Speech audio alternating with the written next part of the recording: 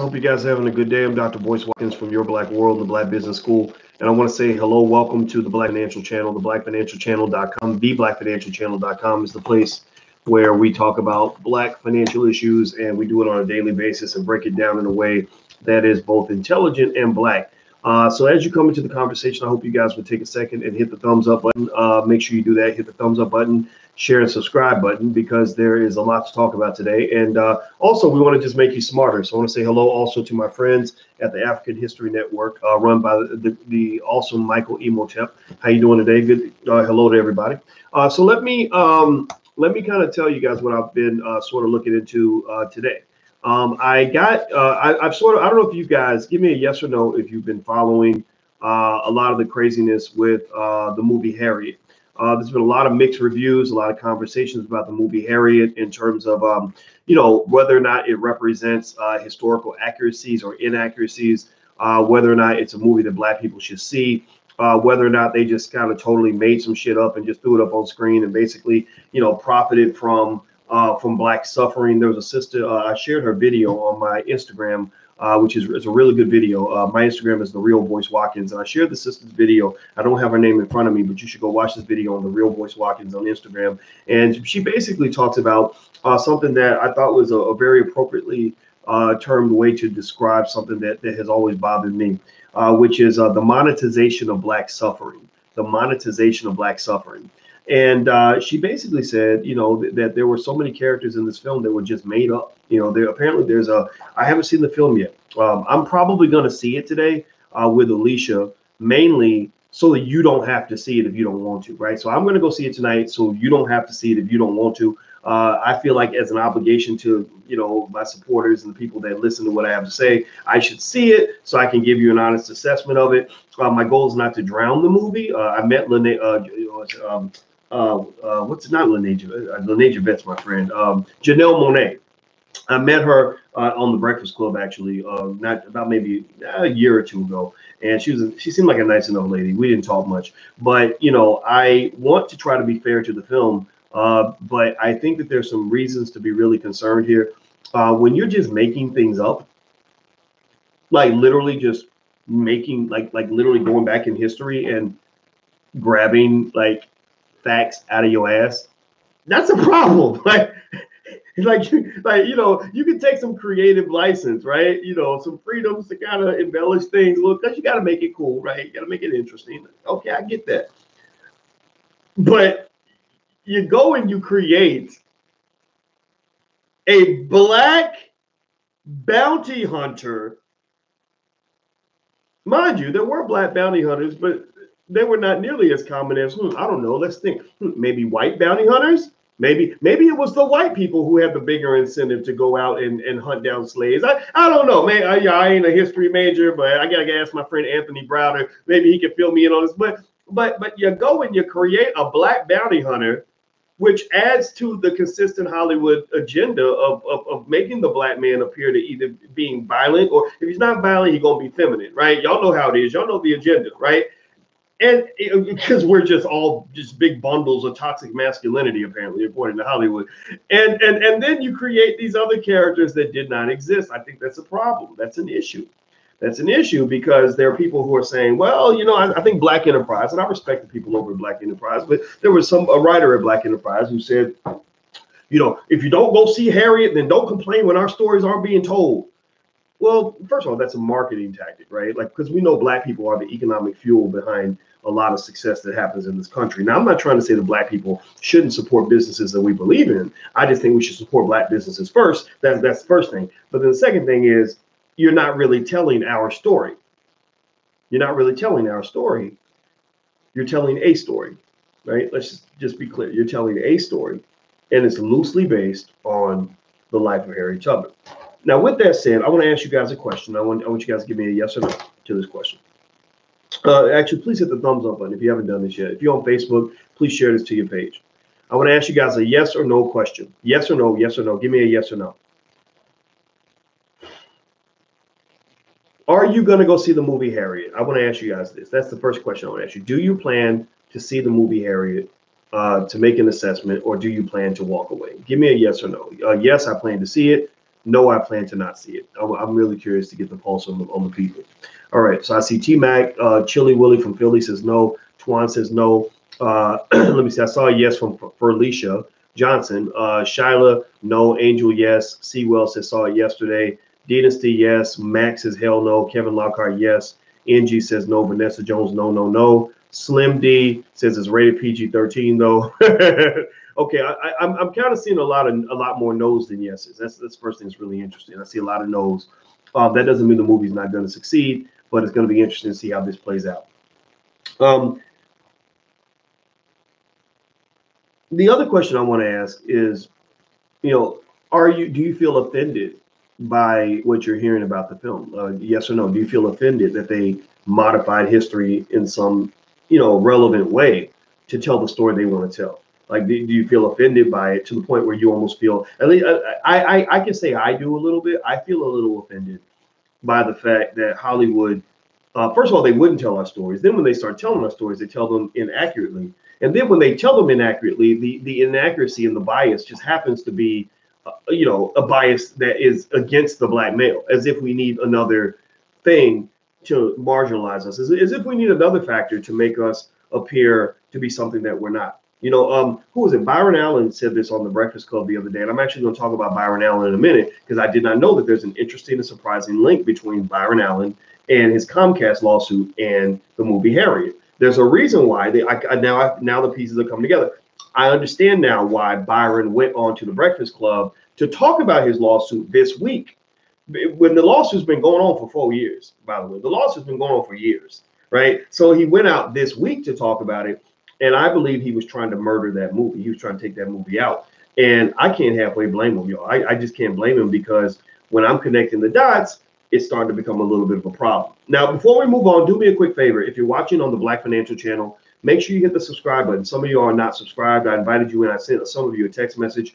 Hit the subscribe button and the notification bell really quick uh, and hit the thumbs up button, right? So if you haven't hit those three bells, please do that right now. Uh, on the count of three, everybody, please do that. Uh, on the count of three, hit the um, the thumbs up button, the subscribe button, and the notification bell. The Black Financial Channel is your financial channel. It's a financial channel to cover financial news on a daily basis from a black perspective. You guys know my PhDs in finance, and I love talking to the people about what's going on in stock markets, what's going on in the world of business, all that. So on the count of three, everybody hit those three buttons. On the count of three: one, two, three. Thumbs up, thumbs up, thumbs up. Hit the subscribe button, hit the notification bell, type Black Power in the chat to let me know that you did it type Black Power in the chat. That's what we call our Black Power exercise because we're trying to deliberately grow Black owned media. That's our goal. Like, so Byron Allen, I hope he wins his lawsuit. I hope he gets on Comcast. Comcast ain't gonna make no deals with Boyce Watkins, and that's okay. I'm all right with that. I don't really don't know about really. I don't have as much of a stomach to work in that space as he does. Uh, but I God bless the brother. I wish him the very best. I have nothing against him. We all have different strategies. So this is our version of black owned media. So I hope you guys will participate and see yourselves as an important part of that process. Michael Imhotep's African History Network, which has over 1.1 million followers, is also part of black media, right? So when we're gathering hundreds of thousands of people at a time, millions of people at a time, that's what a TV network does. A TV network just gets, you know, hundreds of thousands or millions of viewers, and then next thing you know, you can get your message out. So that's what we're doing. We're building here. So please hit the thumbs up button um, and all that stuff. All right, so the, the next question I'm going to ask you is this. This relates to the Comcast lawsuit. Now, the Comcast lawsuit that Byron Allen filed, let me read some of this to you. I'm going to read some of the background on the lawsuit. Now, just in case you don't know, in the Black Business School, which is uh, the premier educational institution for Black people, built by Black people, we're not an HBCU because we're not owned by the government. We, we created this out of the Black community. Next week, I'm going to do a very special lecture for all the students in the Black Business School. It's totally free, does not cost you a penny. It's going to be a lecture where I'm going to take Byron Allen's Breakfast Club interview and break it down, chop it into little pieces, and we're going to look at it with the microscope and we're going to analyze every piece so you could talk about how you can implement some of Allen's philosophies into your home, but also how you can so you can understand some of the politics behind wealth in America. Okay, so if you want to join, but you got to be a member of the Black Business School, but you can join for free. Go to theblackbusinessschool.com, T H E, that's theblackbusinessschool.com. Byron Allen is a, uh, is, a, is a great guy, and I want to really break down some of his stuff. In fact, I actually got another phone call just now from another billionaire you guys should know about by the name of Mike Roberts. I can show you on my phone. I don't, I'm, this is my phone, so I can't show you, but actually, Mike called me five minutes ago And I'm going to have Michael back on the Black Financial Channel very soon. Michael Roberts, look him up. He's a black billionaire. He and his brother have built a billion dollar empire, uh, you know, around the world. So these are the people that you really need to know about. You know about all the rappers. You know about all the entertainers that can't spell they they own mama's name. You need to know about your billionaires too. You need to learn about your scholars also. You need to learn about all of that because those are the people that are going to give you the freedom that you deserve. All right, so let me keep let me read some of this. This is from Hollywood Reporter. This is a breakdown of the Byron Allen uh, lawsuit. It says while the TV mogul alleges racism and Comcast's refusal to license his niche channels, U.S. businesses worry that a win for Allen during the new high court term would increase legal costs and hurt their reputation. So they're worried about being put on blast, basically. It says when Byron Allen first launched the legal rampage back in 2015, few would have guessed he would get to the Supreme Court with a case that could transform the way discrimination lawsuits are handled and represents a, co- a coda on 19th century Reconstruction efforts after the Civil War. Once known as the entrepreneur who debuted as a stand up comedian on The Tonight Show as a teenager, Allen, 58, sued cable operators and satellite distributors after they refused to license his small channels devoted to topics including criminal justice, cars, and pets. He hired an attorney who defended the city of Los Angeles in the Rodney King beating case and demanded tens of billions of dollars via allegations of a racial bias against Comcast, DirecTV, Charter, and others. Now, Al Sharpton is actually mentioned in this case, which is really interesting. It, so here's what's crazy about his suit. This is what makes his suit very interesting. Just how out there was Allen's lawsuit, the NCAA, sorry, not NCAA, the NAACP, not the NCAA. Damn, I just sound like a white man right there. Uh, the NAACP and Al Sharpton were originally co-defendants in the case for allegedly taking actions to whitewash Comcast's discriminatory business practices. As the story was told in the suit, when Comcast sought regulatory approval for its 2010 bid to acquire NBC Universal, it looked to gather support. Y'all know how it is. Y'all, y'all know what they do, right? You know what it is. If you want to be racist, all you gotta do here's a tra- here's a here's a uh, training on how to be a racist white man. Here's here's a, a training. If you want to be a racist white man and you want to get away with it, you go find the Negro managers. You find the, the so-called leaders. They call them leaders, but they're not leaders. They're managers. Leaders are supposed to inspire you to be great and to you know pursue your passion and follow your bliss and to, and to achieve great things. Managers are just there to control you, right? So y'all know the difference. Do we get it? Yes or no? Do you get what I'm saying? The difference between a Negro leader and a and, and a, excuse me, a black leader and a Negro manager, right? So you go get the Negro managers and you get them on your side.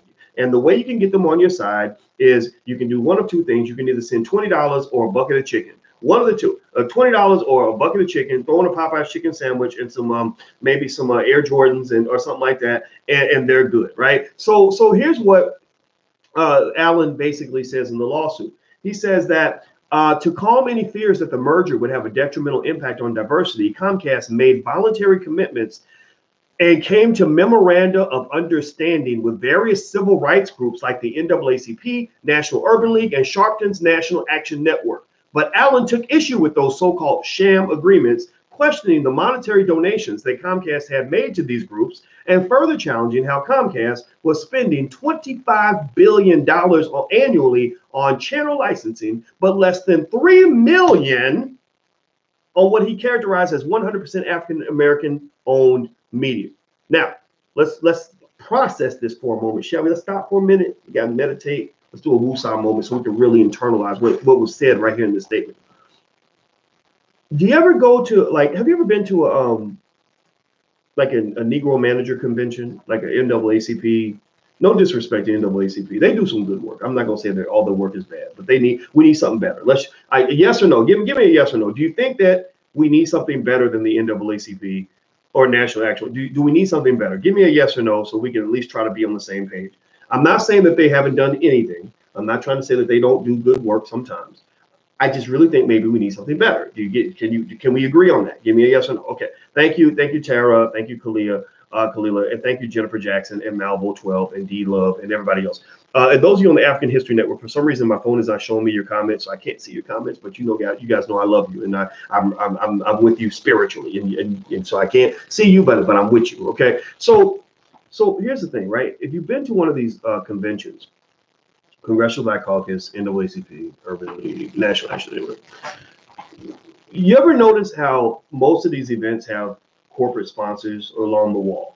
Everything's sponsored, right? It's like you know the revolution will be televised, brought to you by McDonald's, right? Um, you know, let's educate our children. Brought to you by Walmart. Uh, you know, we're going to have the Wells Fargo Gala tonight at eight o'clock. You know, at the such and such, right? The um, you know, the the the Target J.C. Penney Awards are, are going to be happening tonight, right? It's it's they're, they're just experts at obtaining corporate sponsorship, and and I think that that's fine. You know, white companies get sponsorship. I'm not dissing that part. The problem though is that many of these sponsorships are basically get out of jail free cards for companies that are doing some really horrible racist shit. They're basically get out of jail free cards for companies that are like, okay, we stole $10 billion from black people last year, but we're going to give back a million dollars to your organization so that you will allow us to steal from you. These are what, what you might call R. Kelly agreements. These are R. Kelly agreements. And let me explain what I mean when I say these are R. Kelly agreements. Tell me this. Y'all, now, now, y'all remember how the R. Kelly thing went down? Nobody, you know, I, I don't think anybody in their right mind can support, you know, the idea of any man, black, white, or otherwise, you know, messing with little girls, right? I, I'm not a fan of R. Kelly. Y'all know that. But the reason I call these R. Kelly agreements is because y'all know I, I'm in Chicago and I know this. You can't tell me that there wasn't some parents out there that basically sold their kids to that man. Like you can't tell me that there weren't some parents that were just like, look, you take care of us, you make sure the bills are paid. My our daughter's a hoe anyway, so she might as well be a hoe with a celebrity, right? Like you can't tell me that there weren't some parents who basically said, look, you just pay the rent, pay the, you know, make sure we good financially and everything straight. Now, when we're not good, when the money stops coming, when the checks stop flowing, then suddenly we're going to convert ourselves into victims of, of your treachery and we're going to go public, right? That's how the game works, right? So a lot of the people that you saw in that Dream Hampton documentary, Lord knows, I mean, I know I know a little bit about Dream Hampton. I would love to, for them to do a documentary about her life, her personal life, her garbage, her baggage. It's interesting.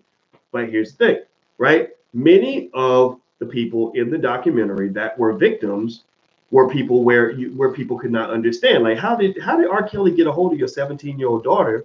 And in in 2015, now, I understand this happened in 1994 before you knew what he was, but by 2015, everybody knew who R. Kelly was. Everybody knew what R. Kelly was into, right? So, but what you're seeing, the reason you're confused by that is that what you're seeing is the result of a deal going bad, a business deal going bad, a bad deal going bad, right? Two criminals made an agreement, and one criminal did not uphold his obligation to the other criminal. So that other criminal comes out and says, I'm a victim. Let me tell you how terrible this person is. But really, y'all both a couple scumbags as far as I'm concerned, because I don't know. Anybody got kids in here? Anybody got kids in here? How many of you, yes or no? Give me a yes or no. How many of you would let your 16 year old daughter date R. Kelly? How many of you would be okay with that with uh, with your daughter if, if she could sing, be in the studio with R. Kelly? Yes or no? Who would do that? Anybody? Any any terrible parents in the room who would let their child go hang out with R. Kelly in the year 2015 or or 2012? I seriously, no, there's no parent on there on, on earth that would be that stupid. So my question is, why would, did you do it? You're either really like literally the dumbest human being on the planet, or you was on some shady shit. Now, why do I call these R. Kelly agreements? Well, because those are the types of agreements that these organizations make with companies that engage in wrongdoing against African Americans. They pretty much have situations where they are able to do these shakedowns, where as soon as the company gets accused of discrimination, and somebody's ready to file a, a, billion dollar lawsuit, somebody's ready to go to the cops, somebody's ready to put their ass on blast, or they're ready to pay up millions of dollars in, in, in, in what they've stolen from these employees or from redlining or or you know firing people for no reason or whatever. And they go to these organizations and they pay these organizations for protection. And the organizations sometimes, unfortunately, they inadvertently participate in this process. They come to the companies and say, look, you've got a Negro problem and I am your Negro solution. I am your Negro manager who can calm down the masses if you make sure that my organization gets well funded. So here's what I'm going to do I'm going to hold a march and a rally. You know, Sharpton's good at that, right? Anybody ever notice how Sharpton holds a lot of marches and rallies and gets it gets let you get all the energy out and let you yell and scream and complain, and then after it's over, like nothing happens? Like it goes away. Like like there's no follow up. There's no there's there's there's nothing. I'm not I'm not I'm not trying to just go after the man and not like that. You know, it's it's over. I mean, I'm not really into uh, going after other black people like that. I'm not going to spend much time on that. But has anybody ever noticed how there's really very little follow up? Well, a lot of times it's because uh, uh of basically the um the politics of redirection. Just I'm going to take all this ball of energy that's targeted at you. We're going to redirect it in another direction and then we're going to let it dissipate out into the air. So it's like it's like a, almost like a nuclear bomb. Like you got a bomb aimed for a city. Think about superhero movies when they shoot a missile. Anybody ever seen a Superman movie and the, the bad guy shoots a super missile or, a, a, nuclear weapon across the sea and it's going to hit New York City? What does Superman do? He grab he flies up, he grabs the missile and he takes it into the ocean and then it blows up and then nobody gets hurt. Right? You disparage the or you you, you dissipate the energy so that it doesn't hit the target right? So effectively, these R. Kelly agreements that are made with these organizations end up costing you billions and billions of dollars. And so what Byron Allen is doing is he's stepping beyond and above that and saying, no, you're not going to buy my loyalty with a bucket of chicken. You're not going to write a little check for $500,000. I spend that much money on toilet paper. That's what Byron Allen says. He's like, I'm a billionaire. I play big boy games. I'm not some little you know, greasy headed pastor who wants to get an extra hundred thousand dollars for the building fund. I'm a guy that wants to do business like the white boys and get money like the white boys, and you're not going to treat me like a child. So he didn't just sue Comcast and Universal. He sued. Uh, let me make sure I can double check. If I'm not mistaken, he sued um, the National Action Network the NAACP, the Urban League. He, I, I, I, a lot of these organizations were. I think he went after the Obama administration. He was going after Obama back when most Negroes was licking Obama's feet, licking the bottoms of his toes right? And, and, so that that's a very bold thing to do. I have to give him credit for being a bold man. Now let me keep. I'm gonna keep going. Do me a favor, hit the thumbs up button, please, real quick. If you haven't hit the thumbs up button, hit the thumbs up button, share and subscribe. But make sure you subscribe to theblackfinancialchannel.com. Theblackfinancialchannel.com. That's our financial uh, our daily financial news channel. You guys know I have a PhD in finance. I love breaking down issues and I love sharing things with you that'll make your life better. So I'm not just here to be a guy running his mouth on the internet so I can be cool. I'm here to actually make sure that you and your family are better off. That's what we do. So theblackfinancialchannel.com. And also, if you happen to live in Chicago, we're holding an all black excellence spades tournament on November 9th. If you want to come out, you live in the Chicagoland area, anywhere nearby, come on out if you want to play spades. It's so much fun, and we just want to get together and have some fun as black people. So, and it don't cost that much. We got to have a little entry fee to pay for the building, but that's it, twenty dollars, something like that. So, go to drboycechicago.com. That's drboycechicago.com, and I'll put other events at Dr. Boyce Chicago as well. I like, I want to do more stuff in the Chicago area. All right, so let me read more of this to you. So Allen took issue with these so, called sham agreements, questioning the monetary donations that Comcast had made to these groups, and further challenging how Comcast was spending $25 billion a year on channel licensing, but less than 3 million on African American owned media. On the day the suit was filed, Sharpton called me, he called the Hollywood Reporter guy, and strenuously took issue with the claim that his reported $750,000 salary for hosting an MSNBC show was essentially a disguised payment for having supported Comcast's acquisition of NBC Universal. Sharpton promised he'd retaliate against Allen with a defamation suit, but the suit never happened. Never followed through. Never got around to that, huh? Um, now, here's what um, I want to ask you guys. Give me a yes or no. I, I don't know if, it, if you've seen Al Sharpton on TV as a, as a newscaster. I want to ask you this question. This is a leading, loaded question I'm about to ask you. Do you think that Al Sharpton is one of the best news reporters and television commentators, you know, in America? Like, do you feel like Al just really stood out as a comic. Like he was so good, just just just right on point and and and just you know like like he's just he just just articulates every word perfectly and just knows his shit and is, is just built for this like do you feel like al was just born to be a journalist or or mm, do you or do you maybe feel like maybe there could have been there are other black journalists who could have done the job a little bit better? Like, you think that he was the best guy that they could have found to host a show for journalists when you got thousands of hungry black journalists out here that that dedicate every every hour of their lives to being the best journalists they can possibly be, who are part of the National Black Journalists Association? Do you remember when the Black Journalists Association protested the hiring of Sharpton to basically say we've got journalists out here that have spent 30 years in the field who can't get a, a whiff from MSNBC. But you go around all of that so you can pick the Negro manager to take the job.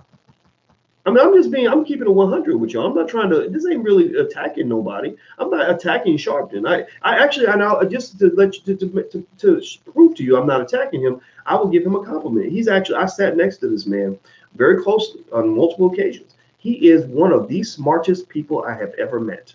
I, when I talk to people, I can measure how quickly they can answer questions, how they retain information, all of that. And because I'm a deep person, you can't you can't really pull too many too much wool over my eyes.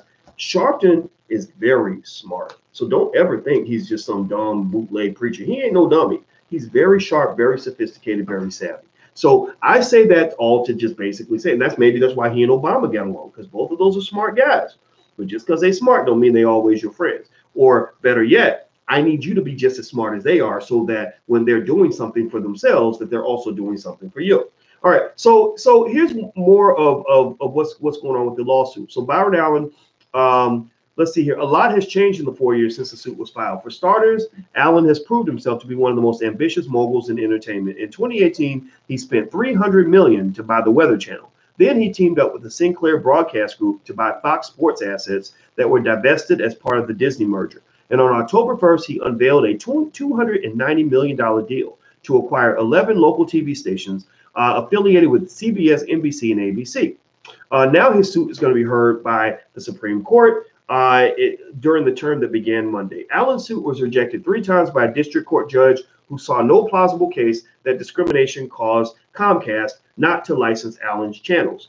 In reviving the case and giving Allen the green light, the Ninth Circuit Court of Appeals concluded that Allen needed only to plausibly allege that discriminatory intent was a factor, but the but not the but for cause of Comcast's refusal to license his channels. So basically, what they're saying is what the Ninth Circuit Court of Appeals did for, for Allen, which was a win for him, was they said, look, you just only have to prove that discrimination was a factor, not the factor, not the only factor, right? You just have to prove that it was a part of the reason that they discriminated against you. Now, what now the problem is though that a more conservative court, which our Supreme Court is, might rule that you have to prove that discrimination is the only factor. That literally there's nothing else that could have played a part in any of this. Like like almost a little bit like the court of law, where you have to be guilty beyond a reasonable doubt, which pretty much means like 95 to 96, 97% of of your doubt has to be erased in order for you to move forward with the conviction. So, in order to convict a company of discrimination, you need to have this overwhelming amount of evidence that being black was the only reason they discriminated against you, which is a really tough standard to meet because think about this. You know, I don't know how many of y'all in this room are perfect. Uh, if you are, then congratulations because you you're probably a lying ass son of a bitch because you ain't perfect, right? Uh, so so tell me, it, you know, in any job, think about this.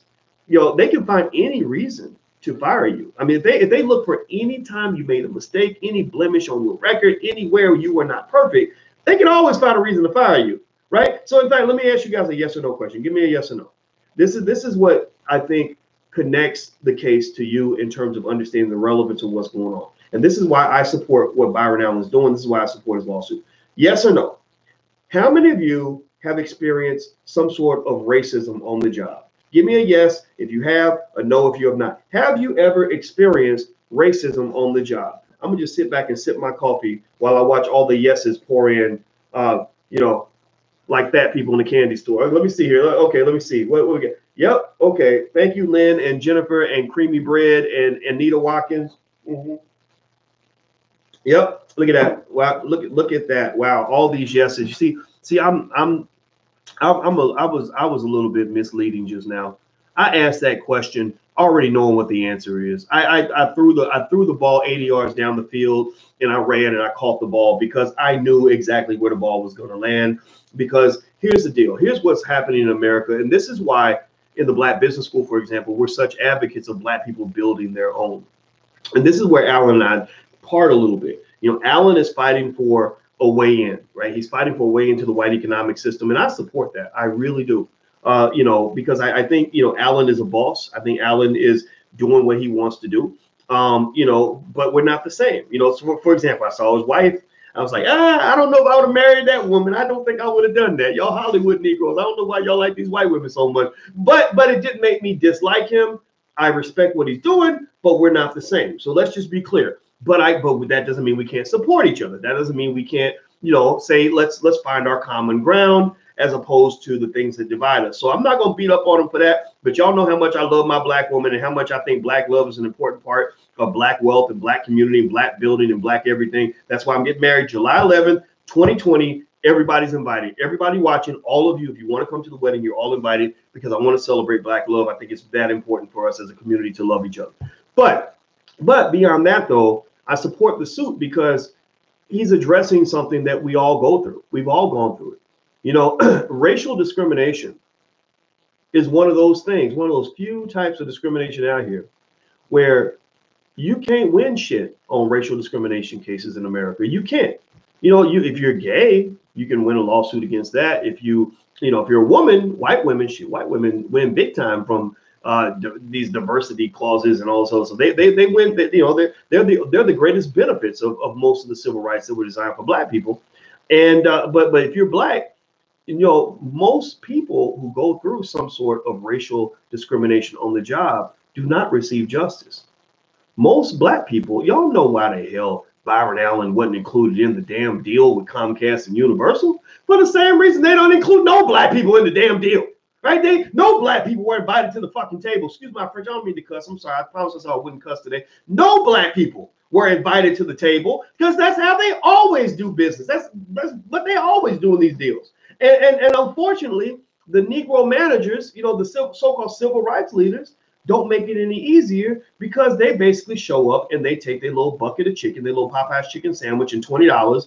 and they say, okay, we'll control the masses in exchange for whatever little whatever little rewards you're giving us. So what I'm trying to tell you is that it's not so much that you got to get rid of you know the pastors and the and the civil rights leaders and people like that. Maybe they can do good work, but at the end of the day, when they're doing work, they need to be doing work for you, like real work for you, and that doesn't always come to the forefront. That isn't always what you see. You don't always feel like they're really working for you. You always feel like they're working for the agenda or they're working for where they're working for the for the white folks. You don't feel like they're working for you because if they were really working for you, then then some some of these battles they would stand up and fight and say, no, we cannot be bought. We're not interested in taking any money for this. Oh, or we'll, we'll take money when you make sure you do justice for everybody. So so you think about it. You remember when Malcolm X used to say, you can't really pay me off because if you take care of me and you're not taking care of my people, then we can't we can't make a deal if you are accepting me and not accepting all of us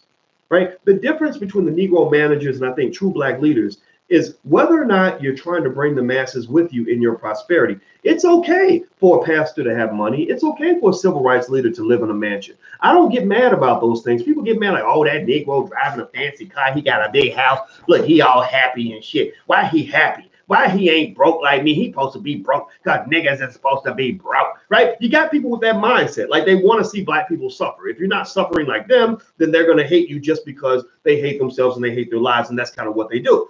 I don't want to be in that category. I don't want to be mad when another black person does well. But I think the question becomes at the end of the day, how are you bringing the, a chunk of the community with you? Are you representing just you or are you representing tens of thousands, hundreds of thousands of people who will receive direct and immediate significant benefits from the prosperity that you claim for yourself. And that's that's a tough call. That's a tough thing. So so with this particular case, um, you know, colorofchange.org, I just got an email from them uh, stating that they didn't even get to the Harriet movie yet. But the Harriet movie, uh, uh, let me ask you guys this: are, are you? I think I asked you guys earlier. Are you planning to go see the Harriet movie or not? Um, I'm gonna go see it, so you don't have to go see it, and I'll come back and I'll do a review. I decided during this conversation I'm gonna go see it, uh, and the reason the Harriet movie movie is connected to the Byron Allen case is because Comcast is the parent company of the company that is making the Harriet movie. I'm, I'm gonna try to see if I can find the email. Hit the thumbs up button while I find this email. I'm gonna see if I can read some of this to you, um, and uh, and I'll read you exactly what Color of Change wrote and I actually I love if you are from Color of Change, just know that I appreciate your work. I think it's very very good, and uh, and they they they are just they're they're a powerhouse. They're an excellent activist group. Uh, let me see if I can find. Let's see. I got the email in my box. Let me see if I can find it. I can't find it real quick. I'm gonna just bounce on out. But let me see here. Color of Change. Please hit the thumbs up button while while we wait while while I find this. Um, you know what? I don't see it in here but I did actually um, I printed out a screenshot, but I don't have it with me. So anyway, colorofchange.org is basically protesting um, the the Harriet movie because the company that made the Harriet movie, whatever the production company is called, uh, here we go. I just found it. Um, so the here's what they wrote: Com- Comcast and its executives are seeking to roll back landmark civil rights protections for Black people, while also seeking to profit from our pain and the history of our struggle. Just two weeks before its Supreme Court challenge to our oldest civil rights law, Comcast, the parent company of film production company Focus Features, is releasing autobi- autobiographical film Harriet, based on the former formerly enslaved and abolitionist hero Harriet Tubman. Tubman risked her life countless times to free hundreds of enslaved people and lived to see the nation's first civil rights law come to pass, the Civil Rights Act of 1866. The same Civil Rights Act that Comcast is currently petitioning the Supreme Court to strike down. We cannot allow a corporation to set a dangerous precedent with our rights while also profiting from the painful past that led to the passing of the very Civil Rights Act it is challenging. So basically, what they're saying is that Comcast is seeking to make money from a black story, another another slave story. I don't know how y'all feel about slave movies, but they kind of get on my nerves. It, it kind of isn't it kind of funny that they they love telling you about times when you were miserable or when you were violent or when you were, you know, being getting your ass kicked. They don't like telling you about what happened before slavery actually took place. Like they seem to they, they seem to remember the last 300, 400 years of history, but they seem to have forgotten the previous 30,000 years when we were running shit, when the Europeans were coming to Africans to get knowledge on mathematics and uh, astronomy and medicine and everything else, right? They, they seem to not remember that part, but they, they they they just seem to really obsess over the you know over everything that's happened in the last three or four hundred years. You know, and so so every few months is another damn slave movie, The Help.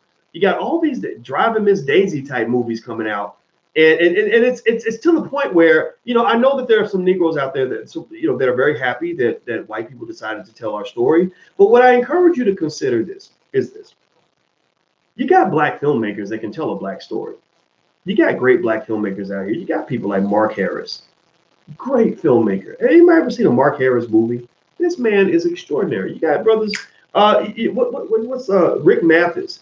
who made Black Friday. You got Tariq Nasheed, made Hidden Colors in, in, in 1804. You got Dorian Chandler out of New York, who made Resurrecting Black Wall Street.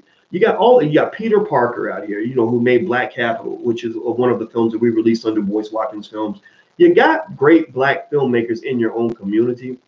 And so I'm almost inclined to say just on GP alone, um, maybe that 10, 20, 30 dollars you're gonna spend because you know you go to the movies, you're gonna buy your ticket, a ticket for your woman, ticket for the kids, and you're gonna have to go buy that damn five dollar popcorn. So by the time the day's done, you don't drop 50, 60, 70 dollars, right? That's what y'all gonna do. When Black Panther comes out, they're gonna make a billion dollars from the black community in about a week, right? It'll take about a week to get a billion dollars out of the black community, right?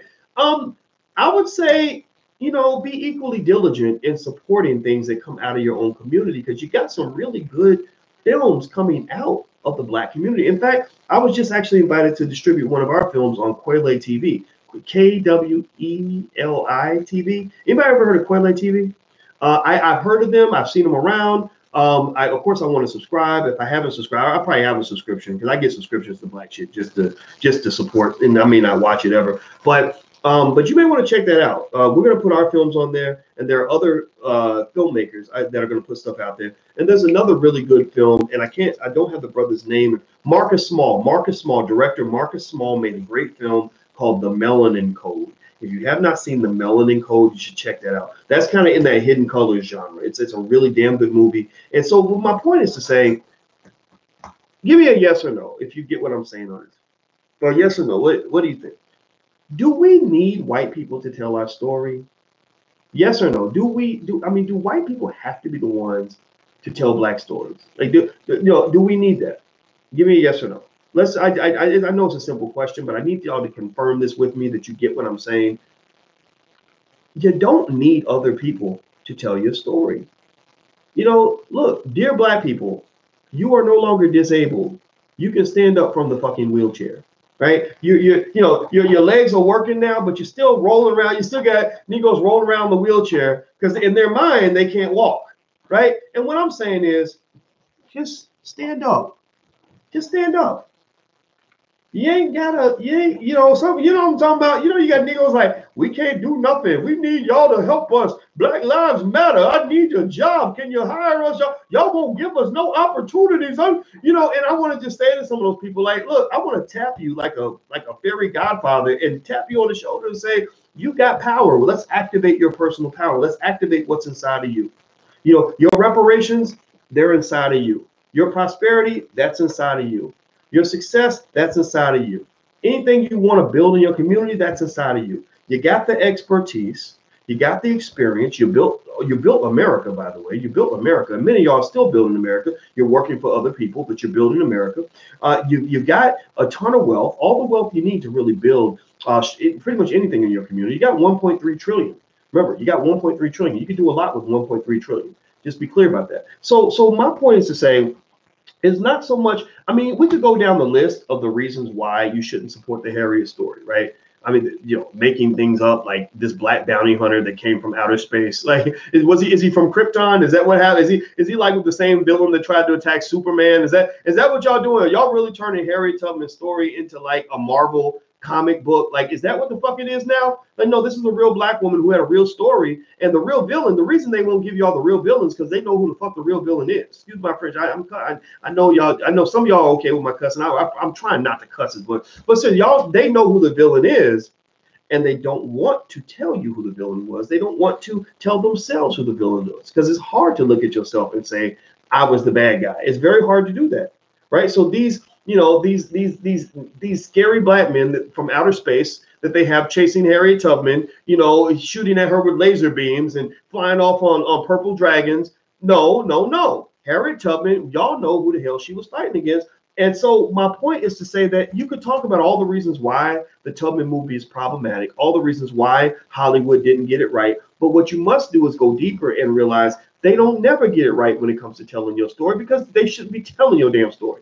That's like giving some. That's like when we send our kids to white people to educate them in public schools, and then we're like, they ain't educating our kids right. They ain't doing our kids right. They abusing our kids. They mistreating our kids. Well, then somebody with some common sense, like my friends in the Hebrew Israelites and the Nation of Islam, might come along and say, well, you know, they're not supposed to be educating your kids. You do know that, right? They shouldn't even have your children right? That's why. That's why I love. That's why if you if you Hebrew Israelite or if you are NOI, uh, you know, and, and everybody else who thinks or just free thinking Black people, like shout yourselves out because I love you because people like you are the ones that that I talk to first because you kind of get it. You get it at a fundamental level, and that's why I love the way you think. It's like, well, well, who should be? Maybe instead of being mad about the fact that you're doing the job wrong, maybe I should just realize that you shouldn't be doing the job. So here's the fundamental point. I don't even think it's a matter. I think we should transcend this anger toward the, the Tubman movie, right? I'm going to try, at least that's my journey. I'm going to try to transcend the irritation I have with Comcast for, you know, with, with this company, whatever the studio is called, for making a bad film, whatever the studio, the studio, uh, it's out of out of Comcast. Let me see here. Um, Focus Features. I'm, I'm not going to be mad at Focus Features for doing what what white folks do. White folks ain't never going to stop being white and it's their right to be white. You have a right to be white. You can be whatever you want to be, and and I bless you with the right to be who the hell you are. But now what I'm going to do is I'm going to bless myself. I want to bless my people and bless us with the right to be who the hell we want to be. And what I'm telling you is from a fundamental standpoint, black stories should be told by black people. And in fact, that goes back to the black core of three that we talk about in the black business school, that we believe black people should educate our own children. We should create our own jobs we should support black businesses. If we do those three things, then you can build whatever you want. You can build a Tyler Perry Studios, but you can do it better than Tyler Perry. Tyler Perry, great man. God bless him for what he's accomplished. But I believe we could build a Tyler Perry Studios type of empire without all the limitations, right? We could do it without putting on a Madea dress. Remember, Tyler Perry Studios is the house that Madea built. 80, 90% of his blockbuster films were involve him wearing a dress. I'm not going, I don't want to put on no dress. And no black man who's not gay, who doesn't want, who's not trying to be a woman, should be putting on no dress. No straight black man needs to be putting on no damn dresses. Now, if that's who you are, then I'm not gonna hate you for it. But guess what? You're gonna be in the minority. The majority of the men are not gonna be putting on no dresses. I hope that we can agree on that. It's not homophobic. It's just being realistic. It's about survival. You can't produce if all the men are trying to sleep with the men and ain't nobody getting together with the women. Okay. So so I think that you can build something greater than Tyler Perry Studios without putting on the Madea dress without taking money from Lionsgate. Right. We don't need a Lionsgate. We don't need a Madea dress. You can take those things out, and if you just circulate black dollars, just keep that money flowing in your community just you know supporting black businesses. You see something black and you like it you, you, you go for the you go for it. You support it if you can. If you got a choice between something that's black and something that's not black if it's a black owned business you lean toward the black owned business. Doesn't mean you got to be perfect. You, you know some of the money is going to spill out. We're going to spend money in other communities. That's almost an inevitability for, for most of you out here. But it does mean that when given the choice when given the opportunity you can kind of lean black and keep some of that money in your community. And if you could just increase your black spending by maybe 10%, right? Just sort of take that out of that 1.3 trillion, just take another 10% of that 1.3 trillion and keep it for yourselves. That's hundred billion dollars a year, actually 120 billion, 130 billion, excuse me, per year that is flowing and circulating in your community. That's enough to create thousands of millionaires. That's enough to create, uh, you know, 10, 20 Tyler Perry studios. That's enough uh, for us to recirculate and turn that into hundreds of billions of dollars. That's enough for us to invest. That's enough for us to have our own school systems. That's enough for us to just do our own thing. And when you're doing your own thing, then you don't care what other people are doing, right? You know, you, you, it just doesn't matter anymore, right? So I want us to get to the point, not so much that we overcome the racism, but to the point where we don't even have to think about the racism because we're too busy building our own. You follow me? Do you get it? Do you get what I'm saying? Give me a yes or no to let me know that we're on the same page. Do you get what I, what what the, the point of this whole conversation. I hope that you guys get what I'm saying. I'm really trying to help you get the keys to power.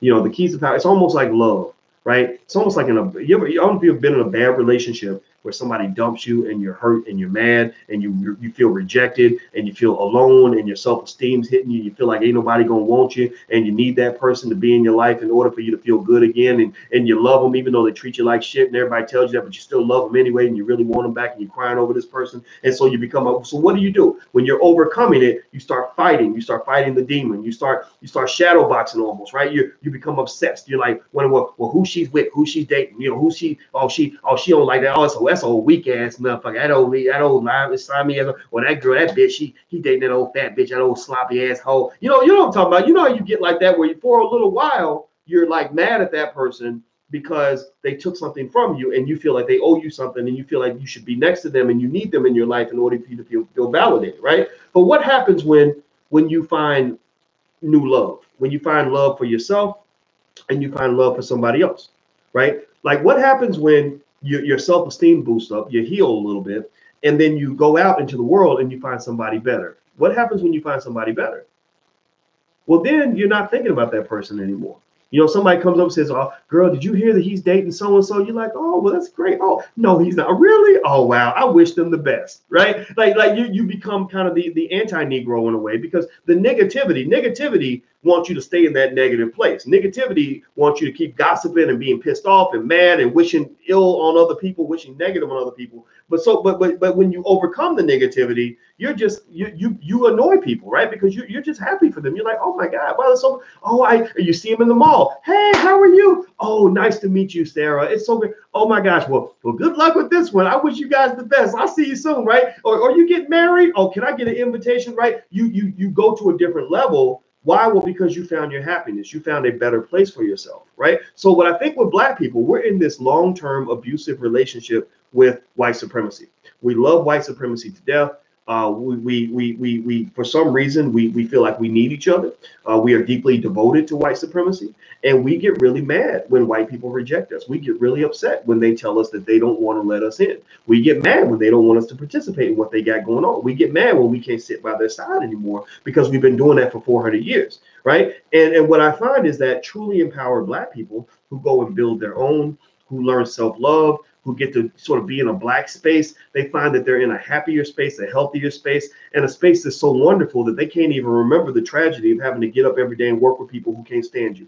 Right? They don't remember that. They don't know nothing about that. You know, and so so I think that as black people, I think that we can achieve that world. I think that those of us who have that vision can go out and and create that world. Um, so I, so what I'm looking for is this. I'm looking for uh, the day where we create a real Harriet Tubman movie made by black people telling the story from a black perspective. And we get black historians to break it all down, black filmmakers to shoot it, black writers to write the screenplay, and black audiences filling up entire auditoriums to see this black film because they know the story is accurate. You don't let other people tell your damn stories. That's the point. That's what I'm getting at. That's what I'm explaining to you right now. All right. So uh, I hope that we get each other. I hope we understand what's going on. Thank you guys for hanging out. Make sure you uh, subscribe to theblackfinancialchannel.com, T-H-E, that's theblackfinancialchannel.com. Also, if you haven't, if you want to learn about wealth building and stuff like that, you guys know that the Black Business School is always sponsoring all of this stuff that we're doing. So feel free to go to theblackbusinessschool.com, T-H-E, that's theblackbusinessschool.com. We have personal wealth specialists that can talk to you right now about your financial future and what it is you want to do, and they can kind of help you figure out what your next step might be. And uh, and also, if you go in and just get a free membership, you can actually get invited to the lecture that I'm going to do next week. It's going to be a private lecture. I can't do this publicly, uh, but we're going to do an entire lecture where I'm going to break down the Byron Allen interview on the Breakfast Club in extreme detail and let you guys know kind of what I'm seeing here. Now, um, and by the way, some of you are looking looking for me to be on the Breakfast Club on the fourth. I have to tell you guys the truth. Y'all know I keep it 100. Um, I heard from Charlemagne. He said, "Come on the show." I hit him back. I didn't hear back. But then I heard back a few days later, no, no, no, we really want you on the show. and then I and then I hit the guy up and I did hear back from the guy. His name is Eddie. So he doesn't email back. So I think what probably happened is maybe some, you know, some rapper became available and whatever. But the thing is, I'm not just sitting around waiting to go on a show like that. But I just want to share that with you guys who happen to be looking for me. I did not buy my plane ticket. I'm not gonna buy no ticket until I know for sure that it's gonna happen. So, but it has happened four times. I've been on Breakfast Club four times. I've been beyond blessed by by Revolt and Diddy and and and um and uh, Charlemagne. So it's no ill will toward them whatsoever. But honestly, to be real with y'all, I really don't like doing interviews that much anyway. Um, I kind of like having my own platform because I like being able to be free with you and saying what's on my mind without anybody telling me what I can and cannot say. And last thing I want to do is go on some show that's owned by white people and get some bro- brother fired because I don't say something that's too radical. Because I think that sometimes the truth is not comfortable, the truth is not politically correct, the truth is not sanctioned by white supremacy. Uh, but I'm looking for truth because life is short. You're going to die soon, so you should spend that time seeking truth and bliss and whatever it is that matters for you. Seek meaning in your life. Don't go for the bullshit. That's my two cents, guys. Have a good day. Love you. Hit the thumbs up button before you go. Subscribe and all that stuff. I'll see you guys soon. Take care. Peace.